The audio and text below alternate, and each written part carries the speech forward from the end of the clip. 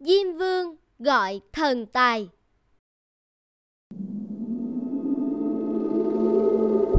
Ta đang ở đâu thế này? Ai khi đến đây cũng ngỡ ngàng như người cả thôi. Ta là Diêm Vương đây, Chắc người biết người đang ở đâu rồi chứ? Trời ơi, Diêm Vương, Nghĩa là tôi đã chết rồi ư? Phải, Người đã chết. Chết đói vì không có cơm ăn. Để ta tra sổ sinh tử ra cho người tâm phục khẩu phục. Không Không thể như vậy được. Tôi mới 20 tuổi, Sao có thể? Ồ, Trong sổ sinh tử ghi, Đáng ra người thọ đến 60 tuổi, Được 1.000 lượng vàng. Thế 1.000 lượng vàng ngươi để đâu? Mau đưa ra để ta tịch thu lại. Nếu có 1.000 lượng vàng, Thì sao tôi phải sống khổ sở, Rồi chết tức tưởi thế này? Cũng phải. Nếu có từng đó vàng, Thì anh ta ắt hẳn phải sống rất sung sướng chứ. Hay thần tài đã chiếm mất số tiền đó rồi, Phải gọi ông ta đến xem thế nào mới được.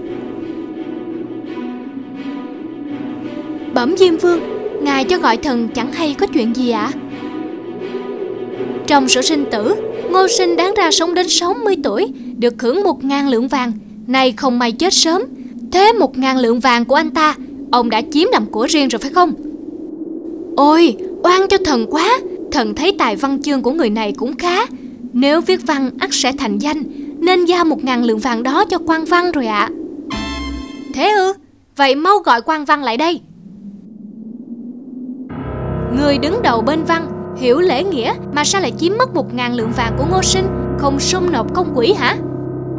Bẩm Diêm Vương con người này tuy có tài văn chương, Nhưng không chịu học tập nghiên cứu, Mà tính tình hiếu động, Suốt ngày chạy nhảy thôi ạ à.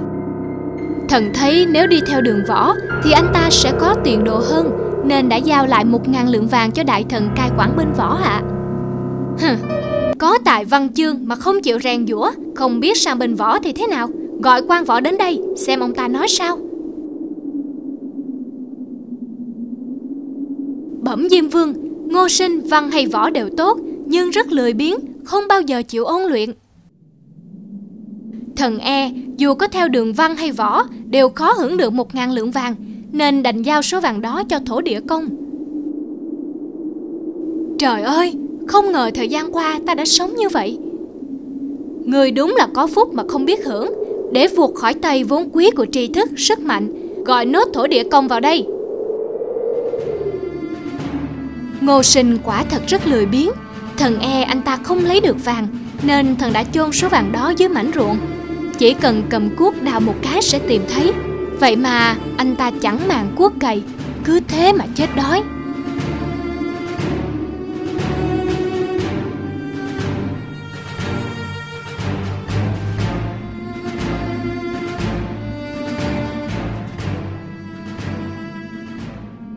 Không thể chấp nhận được Ta chưa thấy ai lười biếng như ngươi.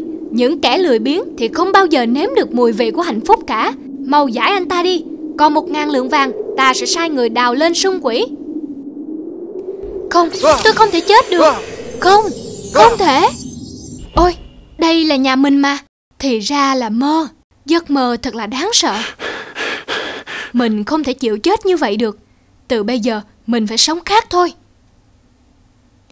nếu chăm chỉ lao động và hăng say học tập, ta sẽ tự tạo ra cho mình một cuộc sống sung túc và hạnh phúc. Còn nếu lười biếng thì dù có được ban sẵn một ngàn lượng vàng cũng vô ích mà thôi. Quả ổi sần sùi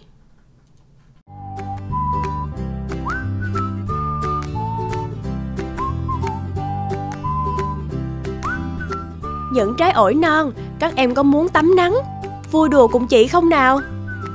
Em muốn em muốn ạ. À. Từ sáng đến giờ chưa hông nắng tập thể dục ạ. À. Suốt ngày cậu ở trên cao tiết Đùng đưa nắng gió không mệt sao? Còn muốn hông nắng với chả tập tành. Nắng làm cho em thô ráp lắm. Em không ra ngoài tắm nắng đâu.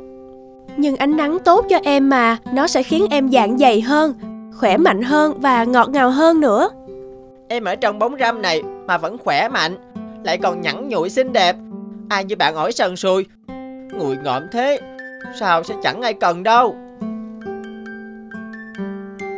Thôi kệ bạn Chúng ta cùng nhau nhảy múa em nhé. Nhìn cậu càng ngày càng xấu xí Vỏ sần sùi cả ra. Rồi mưa tát thẳng vào mặt thế kia Thì thật đáng tội nghiệp. Như tớ mưa chẳng đến mặt Nắng chẳng đến đầu. Thật thích làm sao?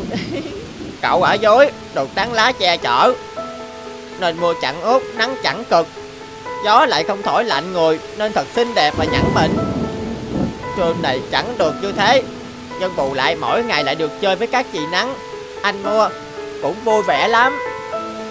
Cơ mà xấu xí, Cậu xấu thế rồi, chẳng ai cần. Chẳng ai đếm xỉa đến cậu đâu. Phải xinh đẹp như tớ Mới được mọi người lựa chọn, Cậu hiểu chưa?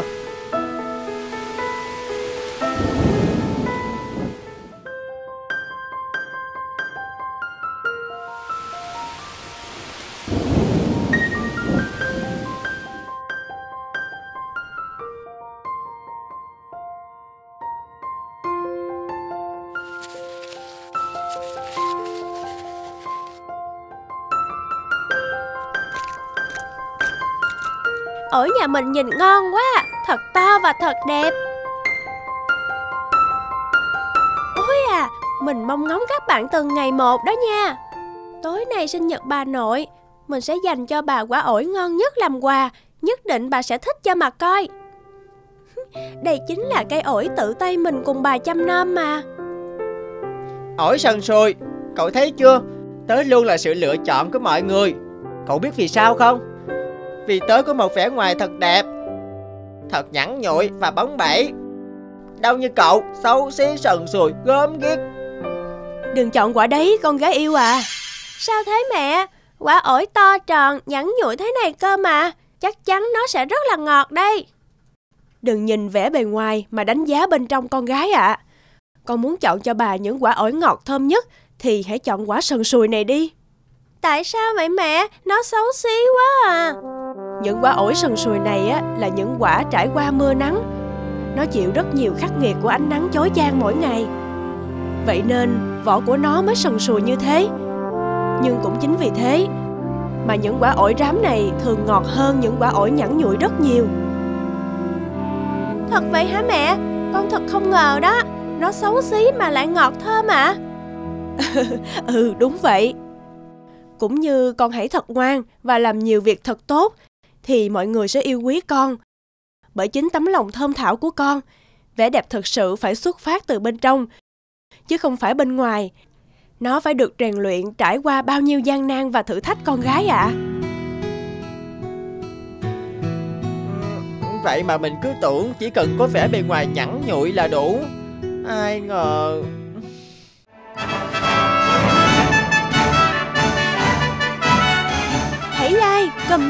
subscribe kênh để xem thêm những video mới nhất nhé.